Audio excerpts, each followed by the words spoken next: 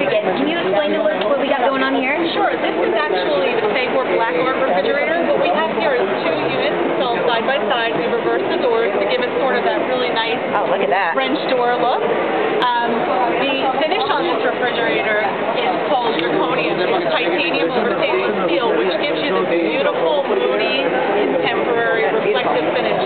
What's nice about it is that the white clean with just a damp wet cloth. We don't have to use any harsh chemicals or abrasives to clean it at all. Um, just water, wet, wet, wet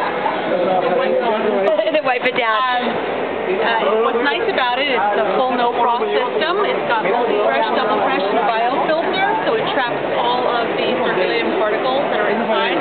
Keeps, keeps your food very um, healthy. It's also coated with an interior antibacterial coating.